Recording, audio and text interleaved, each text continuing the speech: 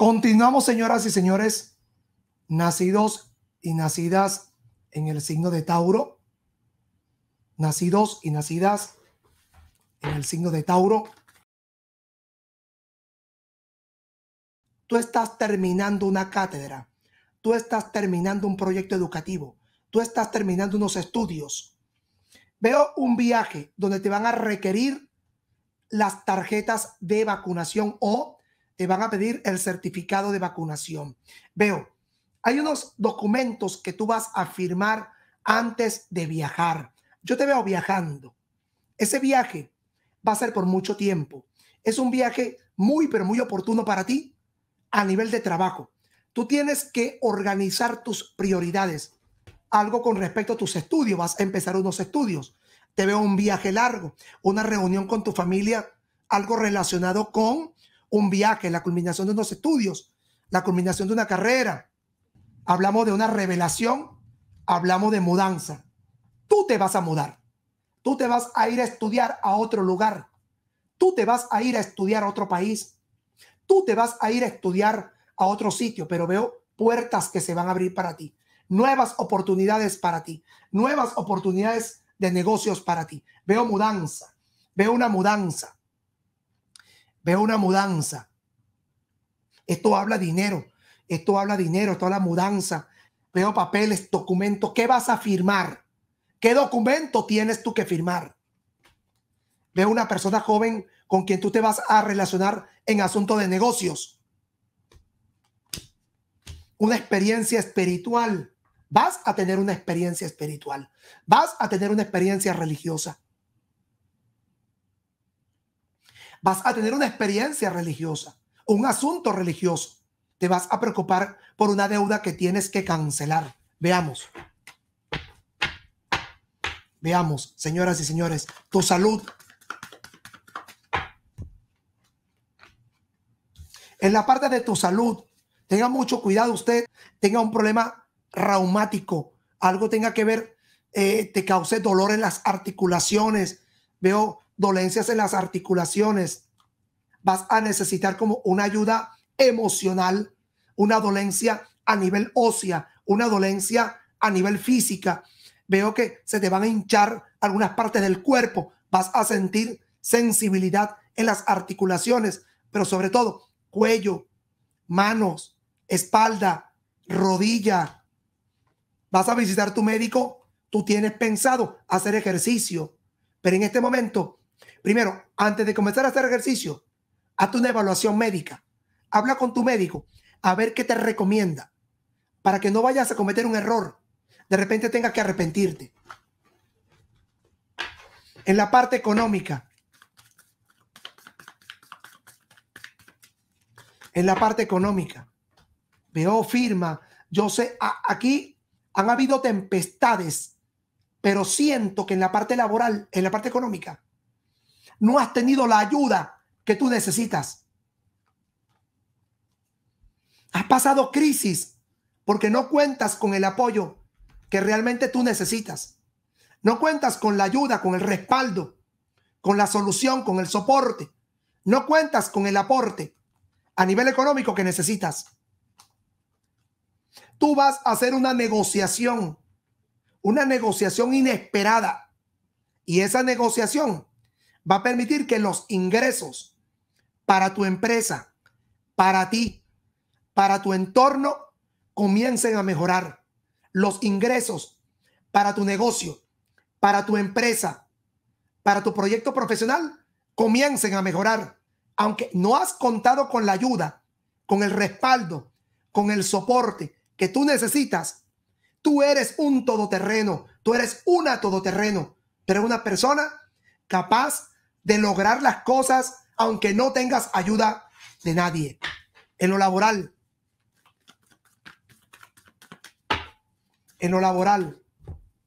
Tú quieres como renunciar. Ya tú estás cansado, cansada de que en el trabajo no encuentres el resultado que tanto quieres. Siempre hay personas complicadas, siempre hay personas problemáticas, siempre hay personas que no aportan, que no suman, sino que restan.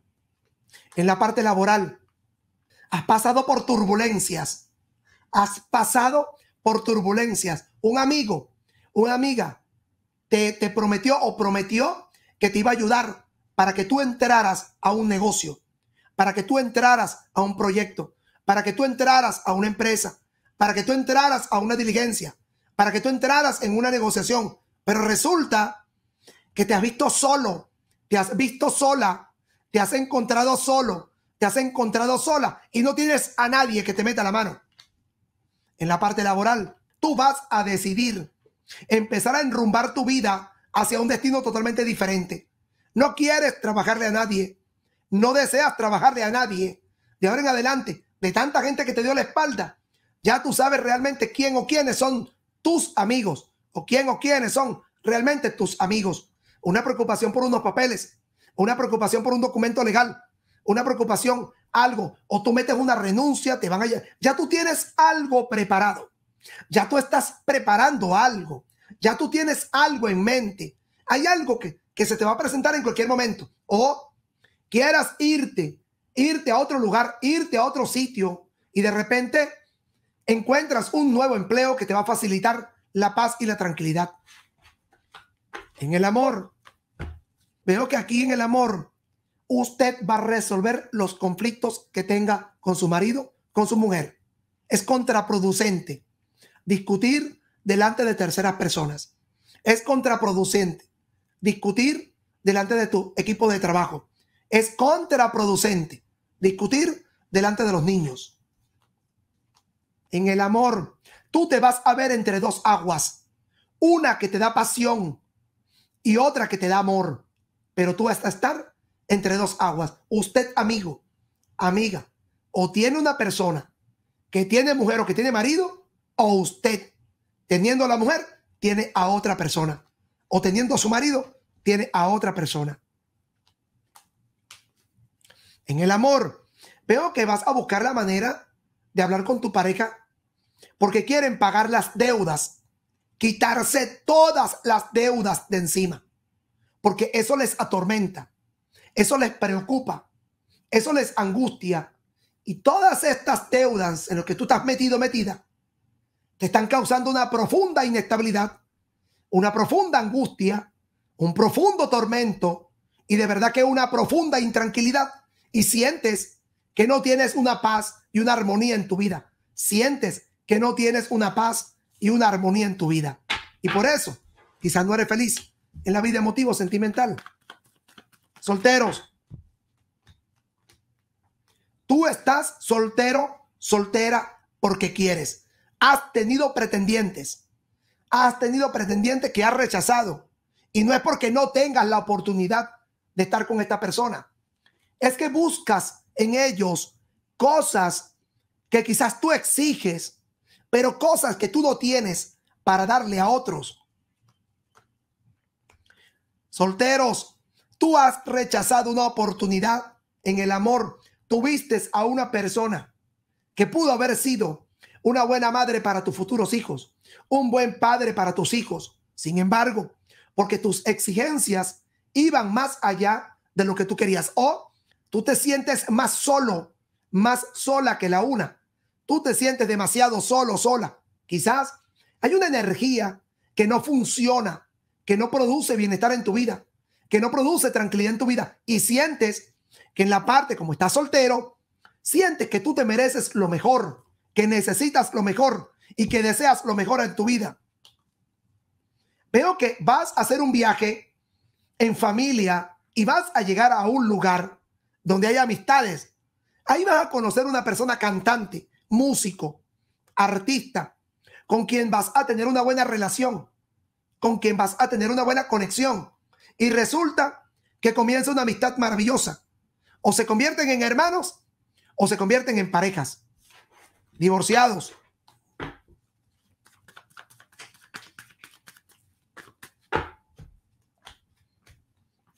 Tu expareja va a necesitar ayuda, va a necesitar apoyo, va a tener un problema de tipo familiar.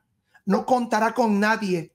Tú eres su ex esposa, su ex esposo. Pero resulta que como tú estás casado, casada, eh, como quizás que estás casado, casada, o estás divorciado, divorciada. Esta persona está casado, casada. Hay algo que impide que tú puedas entrar para ayudarle. Esta persona te va a llamar, va a hablar contigo, se va a desahogar contigo, disimuladamente se va a desahogar, desahogar contigo por un tema económico, por un tema profesional que le está quitando el sueño. Veo que tú le tienes un cariño inmenso a tus ex suegros o le tienes un cariño inmenso a un miembro de la familia de tu expareja porque se portó bien contigo, se portó bien con tu familia, se portó bien con tus seres queridos y tú le retribuyes con respeto, con aprecio, la amistad a esa persona. Incursionas en el canto, incursionas en la música, en el mundo de la producción, en el mundo del cine, del teatro, del arte. Incursionas en el arte histriónico, pero también divorciado, divorciada. Te vas a consultar con una persona para que te hable sobre el futuro que tú tienes, el camino que tú tienes y la bendición que tú tienes para el futuro. Veo que aquí contarás con la venencia de Dios, contarás con el amor de Dios, contarás con la palabra de Dios para que en el futuro sea más productivo para ti. Primer decanato.